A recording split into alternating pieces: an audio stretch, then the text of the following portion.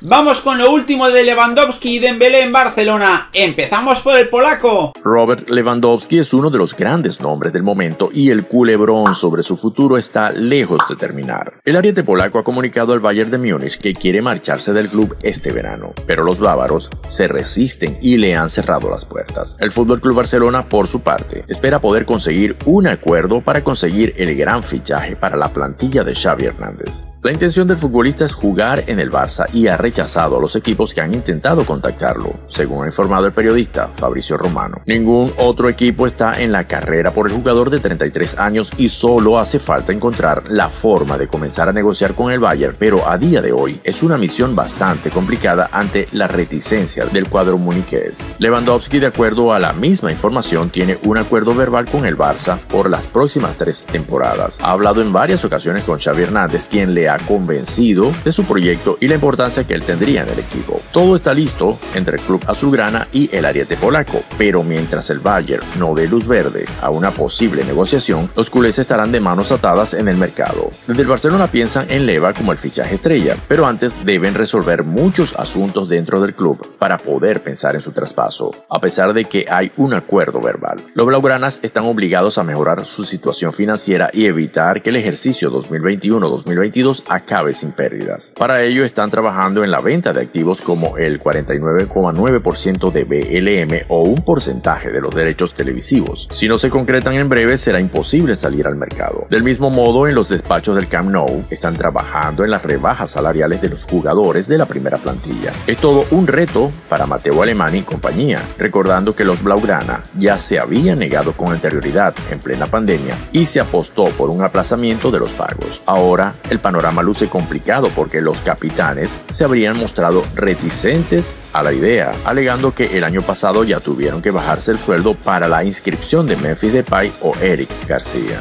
Por tanto, pasan los días, Lewandowski no llega, pero sigue con la misma intención de llegar al Barcelona. Uno que tiene la intención totalmente contraria, al parecer, es Usman Dembélé y es que aseguran que hay un equipo muy interesado y que estaría muy cerca de contratar al francés en la Premier League. Osman Dembélé estaría ya muy cerca de definir su futuro y parece que se aleja definitivamente del Barça. Talk Sport asegura que el futbolista francés firmaría por el Chelsea, seguramente para las cuatro próximas temporadas y se convertiría en el primer gran refuerzo de la era de Todd Boehly como nuevo propietario del club londinense. El Chelsea habría apretado mucho desde que se completó la venta de la entidad y se le permitió comenzar a operar y podría llevarse al extremo en detrimento de un Paris Saint Germain que también habría lanzado oferta en los últimos días porque Mbappé le quiere a su lado en París. Desde Inglaterra tienen claro que la figura de Thomas Tuchel, con quien Dembélé coincidió en Borussia Dortmund, ha sido clave para que el futbolista accediese a ir a la Premier a pesar de que tenía muchas reticencias. El entrenador del Chelsea desea revolucionar todo su ataque y busca al menos dos extremos y un delantero centro goleador para completar una nueva plantilla que pueda luchar por todos los títulos. Lukaku no seguirá en Londres y el club también busca un golpe con la llegada de un delantero de primer nivel.